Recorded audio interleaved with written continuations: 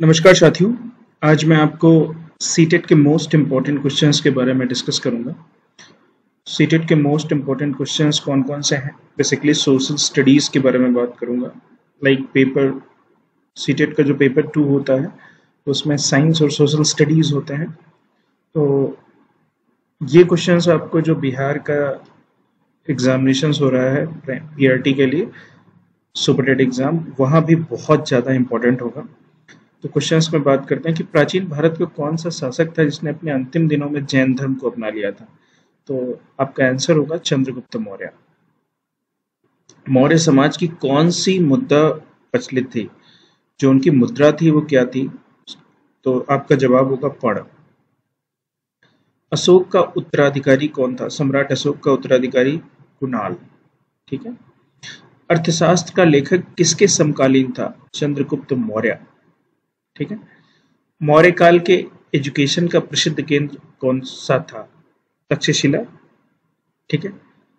मेगस्थनीस की पुस्तक का क्या नाम था? मेगस्थनीस ने अपनी पुस्तक लिखी थी, उसका नाम था इंडिका, ठीक है? अशोक के शिलालेखों में कौन सी भाषा थी? भाषा थी प्राकृत। हड़प्पा सभ्यता का पता कब और किसने लगाया? उन्नीसवीं शताब्दी में अंग्रेज़ों ने।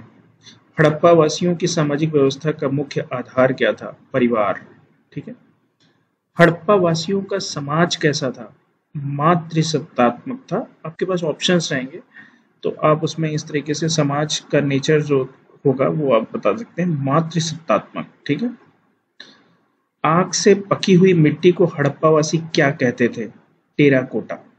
आग से पकी हुई मिट्टी को हड़प्पावासी क्या कहते थे? टेराकोटा। बिल्ली का पीछा करते हुए कुत्ते के पंजों के निशान कहाँ मिले? वो मिले सिंधुकालीन स्थल चन्नूदड़ों में, ठीक है? सिंधुकालीन स्थल चन्नूदड़ों में। वैदिक गणित का महत्वपूर्ण अंक क्या है? सुल्व सत क्या है? वैदिक गणित का महत्वपूर्ण अंक क्या है? सुल्व सूत्र। वेदों की संख्या कितनी है? चार। ऋग्वेद, यजुर्वेद, सामवेद और अथर्ववेद। ठीक है? सबसे पुराना वेद कौन सा है? ऋग्वेद, ठीक है? किस वेद के द्वारा, वैदिक संस्कृत के बारे में ज्ञान होता है? ऋग्वेद के द्वारा। भारत के राज्य चिन्ह में लिखा सत्यमेव जयते किस उपनिषद से लिया गया है? मुंडक उपनिषद से। भारतीय संगीत का आदि ग्रंथ किस वेद को कहा जाता है? सामवेद। कृष्णा भक्ति का प्रथम एवं प्रधान ग्रंथ कौन सा है? श्रीमद भगवत गीता पुराणों की संख्या कितनी है? अठारह। वैदिक धर्म का मुख्य लक्षण किसकी उपासना था? प्रकृति। ठीक है? इस देवता के लिए ऋग्वेद में पुरंदर शब्द का प्रयोग हुआ इंद्र के लिए। जैन धर्म व बौद्ध धर्म दोनों के उपदेश किसके शासन काल में दिए गए? बिम्बिसार के। ठीक है? राजा बिम्बिसार होते थे, उनके शासन काल में दिए गए। बौद्ध धर्म ग्रहण करने वाली प्रथम महिला कौन थी? महाप्रजापति गौतमी। ठीक है? गौतम बुद्ध का प्रथम धर्मोपदेश क्या कहलाता है? धर्म चक्र परिवर्तन। देखिए, धर्म चक्र परिवर्तन गौतम बुद्ध का प्रथम धर्मोपदेश था। बौद्ध की गृह आज्ञा प्रतीक क्या है? अश्व। ठीक है? गौतम बुद्ध द्वारा भिक्षुड़ी संघ की स्थापना कहाँ की गई? कपिल वस्तु में, ठीक है? सवाल ये बहुत बार पूछा गया है सीटेट में आपसे तो ये इंपॉर्टेंट तरीके से मान सकते हैं। शून्यता का सिद्धांत किस बौद्ध दार्शनिक ने प्रतिपादित किया? नागार्जुन ने। महावीर स्वामी का प्रथम शिष्य कौन था? जमाली, ठीक है? प्रथम जनसभा का आयोजन कहाँ हुआ? पाटलिपुत्र में, ठीक है? अशोक के शिलालेखों को पढ़ने वाला प्रथम अंग्रेज़ कौन था? James princess. अशोक के शिलालेखों को पढ़ने वाला प्रथम अंग्रेज़ कौन था? James princess. कलिंग युद्ध की विजय तथा क्षत्रियों का वर्णन किस शिलालेख में? तेरहवें शिलालेख में। ठीक है? कौन सा शासक जनता के संपर्क में रहता था? सम्राट अशोक। किस ग्रंथ में चंद्रगुप्त मौर्य के लिए वृसल का प्रयोग किया गया? मुद्रा राक्षस किस राज्यादेश में अशोक की व्यक्तिगत नाम का उल्लेख मिलता है? मास्की। श्रीनगर की स्थापना किस मौर्य शासक ने की थी? अशोक। किस ग्रंथ में सूत्रों के लिए आर्य शब्द का प्रयोग हुआ? अर्थशास्त्र। किसने पाटलिपुत्र को पोलीब्रोथा कहा था? मेगस्थनीज ने।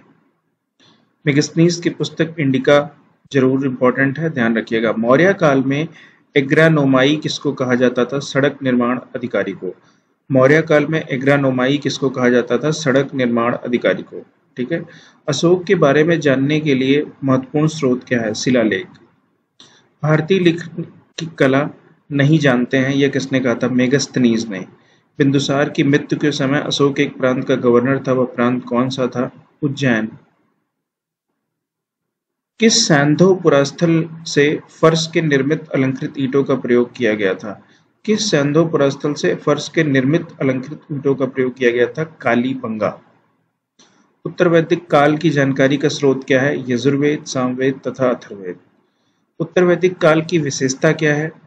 चित्रित घूसर, वृंदभांड तथा लोहा। मनुष्य के जीवन को किन चार आश्रमों में बांटा गया? ब्रह्मचर्य, गृहस्थ, वानप्रस्थ तथा संन्यास।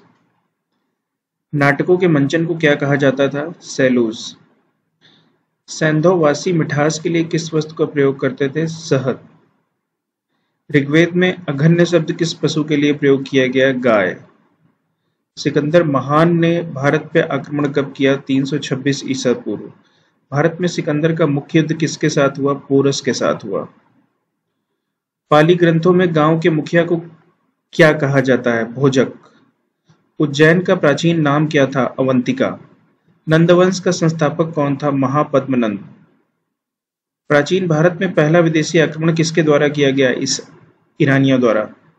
मगध का कौन सा शासक सिकंदर का समकालीन था? घनानंद। नंदवंश का अंतिम सम्राट कौन सा था? घनानंद। बिंदुसार ने विद्रोहियों को कुचलने के लिए अशोक को कहा भेजा? तक्षशिला। किस सम्राट का नाम देवान प्रदर्शी था? सम्राट अशोक। कलिंग का युद्ध कब हुआ? दो सौ इकसठ ईसा पूर्व। सिंधु सभ्यता के लोग सबसे ज़्यादा लोग किस देवता पर विश्वास करते थे? मातृशक्ति। हड़प्पा की सभ्यता में मोहरी किस चीज़ की बनी थी? सिलखड़ी से। किस स्थान में नृत्य मुद्रा वाली स्थिति की कांस्य मूर्ति प्राप्त हुई? मोहनजोदड़ो से। मोहनजोदड़ो इस समय कहाँ स्थित है? सिंध, पाकिस्तान। अद्वैतवाद का सिद्धांत किसने प्रतिपादित किया? शंकराचार्य ने। विशिष्ट द्वैतवाद का सिद्धांत किसने दिया? रामानुजन ने। गौतम बुद्ध का जन्म कब हुआ था? पाँच सौ तिरसठ ईसा पूर्व लुम्बिनी, नेपाल में हुआ था। गौतम बुद्ध को ज्ञान की जानकारी कहाँ प्राप्त हुई थी? गया, बिहार में। गौतम बुद्ध की मृत्यु पर कब और कहाँ हुई थी? चार सौ तिरासी ईसा पूर्व कुशीनगर, उत्तर प्रदेश में। गौतम बुद्ध ने अपना प्रथम उपदेश कहाँ दिया था? सारनाथ, वाराणसी, उत्तर प्रदेश। बुद्ध का शाब्दिक अर्थ क्या है? प्रकाशवान। गौतम बुद्ध ने अपने उपदेश किस भाषा में दिए? पाली भाषा में। जातक कथाएँ किस धर्म से संबंधित हैं? बौद्ध धर्म से। जैन धर्म के अनुसार कुल कितने तीर्थंकर हुए? चौबीस। पुर्तगालियों ने अंग्रेज़ों को बंबई दहेज के रूप में किस वर्ष दिया था? सोलह ईसा में। भारत में सबसे पहले आने वाले और सबसे बाद में जाने वाले यूरोपीय कौन थे? पुर्तगाली। पुर्तगाली साम्राज्य का वास्तविक संस्थापक कौन था? अलबुक कर्क अलबुक कर्क किस बंगाल के नवाब के समय प्लासी का युद्ध हुआ था, सिराजुद्दौला। पानीपत की लड़ाई में मैराथन की हार का सबसे अधिक लाभ किसको मिला? ईस्ट इंडिया कंपनी को। मुगल साम्राज्य के अंतर्गत आने वाले प्रांतों में सर्वाधिक संपन्न राज्य कौन था? बंगाल। इजारेदारी प्रथा किसने शुरू की थी? मुर्शिद कुली खान ने। खेती के लिए किसानों को किसने अग्रिम कर्ज देना शुरू किया? तकाबी कर्ज लोन।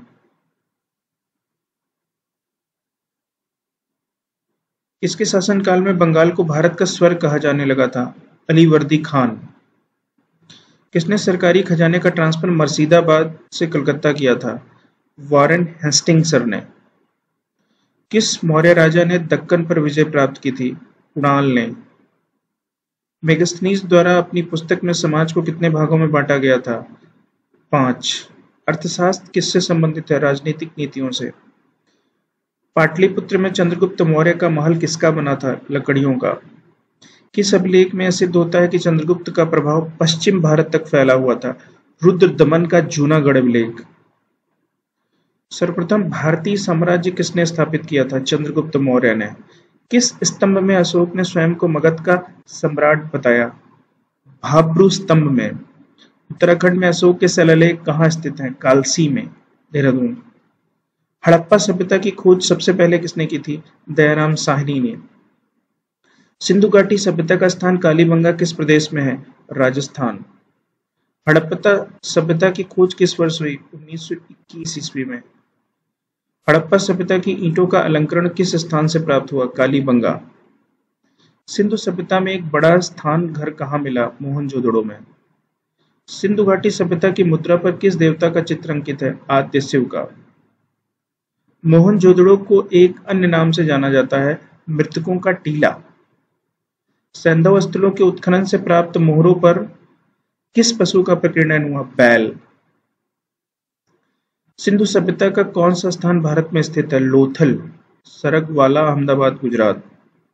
बाकी पाकिस्तान में चला गया भारत में चंडी की उपलब्धता के सबूत कहाँ मिले हैं? हड़प्पा की संस्कृत में। किस शासक को उग्रसेन कहा जाता है, महापद्मनंद। सिकंदर के साथ भारत आने वाला इतिहासकार कौन था? हेरोडोटस। काशी और लिच्छवी का विलय मगध साम्राज्य में किसने किया? अजात शत्रु ने।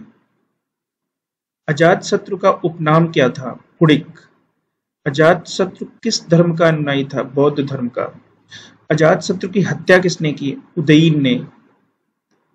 अजात शत्रु गद्दी पर कब बैठा? चार सौ उन्तीस ईसा पूर्व में।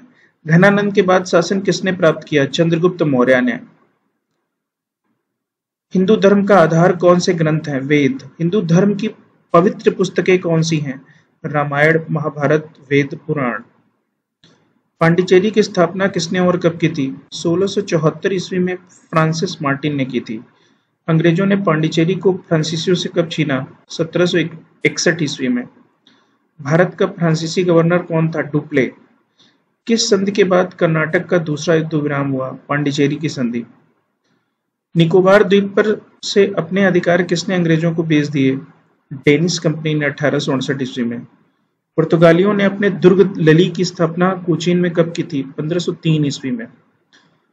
अल्बुकर्क ने 1510 ईस्वी में विजयपुर के किस शासक से गोवा छीना था? आदिल शाह यूसुफ से। भारत आने वाला प्रथम ब्रिटिश नागरिक कौन था? जॉन मिल्दो हॉल।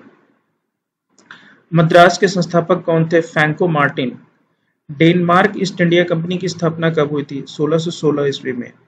मांडा किस नदी पर स्थित है? चिनाब नदी पर। हड़प्पा की सभ्यता का प्रमुख स्थल रोपड़ किस नदी पर स्थित है? सतलज नदी पर। सिंधु सभ्यता के स्थल में, घरों में, कुओं में, अवशेष मिले मोहनजोदड़ो में। सिंधु सभ्यता की प्रमुख फ़सल कौन सी? जौ और गेहूँ। मुगल काल के सर्वप्रथम किस शहर में अंग्रेज़ों ने अपने कारखाने स्थापित किए? सूरत। कर्नाटक संगीत का पितामह किसे कहते हैं? पुरंदर दास। किसके शासनकाल में प्रथम चीनी यात्री आया था? फाहयान आया था? चंद्रगुप्त द्वितीय के शासनकाल में। मुगल शासकों में किसे प्रिंस ऑफ़ बिल्डर्स के नाम से जाना जाता है? शाहजहां। आगरा के जामा मस्जिद का निर्माण किसने कराया था? शहजादी जहाँ आरा बेगम। किस सिख गुरु ने फारसी भाषा में जफरनामा लिखा था, गुरु गोविंद सिंह जी ने। गुरु नानक का जीवन किस परिचय, किस सिख गुरु ने लिखा था, गुरु अर्जुन देव ने? कन्नौज के लिए ट्रिपलेट स्ट्रगल कौन कौन सी ताकतों द्वारा लड़ा गया? महाराज हर्षवर्धन के शासनकाल में कन्नौज पर नियंत्रण उत्तर भारत पर प्रभुत्व का प्रतीक बन जाता है। अरबों के आक्रमण के उपरांत भारतीय प्रायद्वीप के अंतर्गत तीन महत्वपूर्ण शक्तियाँ थी, गुजरात के राजपूताना, के गुर्जर प्रतिहार, दक्कन के राजपूत और बंगाल के पाल वंश कन्नौज के आधिपत्य को लेकर चलने वाले लगभग 200 वर्षों तक के संघर्ष में अंतिम सफलता गुर्जरों को मिली थी। प्राचीन काल में महाजनपद किसको कहते थे? प्राचीन, महाजनपद प्राचीन काल में राज्य या प्रशासनिक जनपदों को कहते थे। उत्तर वैदिक काल में कुछ जनपदों का उल्लेख मिलता है। महाजनपदों के शासक किसान, व्यापारी, शिल्पकारों से नियमित कर वसूलते थे। बढ़ते व्यापार, वाणिज्य ने ग्रीष्म में अधिशेष उत्पादन को बढ़ावा दिया। जिससे नगरीय अर्थव्यवस्था का जन्म हुआ, चंपा, श्रावस्ती, काशी कौसाम्बी आदि बड़े नगरों का जन्म हुआ। तो ये हमारे कुछ इंपॉर्टेंट क्वेश्चंस थे, जो सीटेड पेपर टू में आपसे डायरेक्ट पूछे जा सकते हैं। तो और जो बीपीएससी टीचर्स रिक्रूटमेंट्स का एग्ज़ाम है, वहाँ भी ये क्वेश्चंस डायरेक्ट आपसे पूछे जा सकते हैं। तो इन क्वेश्चंस को मेमोराइज कर लीजिएगा, समझ लीजिएगा। आपके एग्जामिनेशन में अगर ये क्वेश्चंस आएँगे तो आपसे छूटने ना पाए। और ये मोस्ट इंपॉर्टेंट क्वेश्चन है। ऐसी सीरीज़ बीपीएससी टीचर्स रिक्रूटमेंट और सीटेड टू क्योंकि दोनों एग्ज़ाम आसपास हैं। सीटेड टू का एग्ज़ाम और सीटेड का भी एग्ज़ाम 20 अगस्त को है और सी बीपीएससी का एग्ज़ाम 23 से 27 के बीच में है। तो दोनों एग्जामिनेशन पास में है।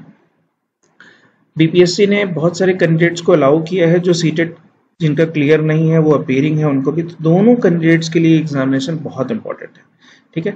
तो चैनल पे अगर नए हैं तो सब्सक्राइब ज़रूर कर लीजिएगा। आपको ऐसी वीडियोस हम रेगुलर प्रोवाइड करते रहेंगे। तो मिलते हैं नेक्स्ट वीडियो में।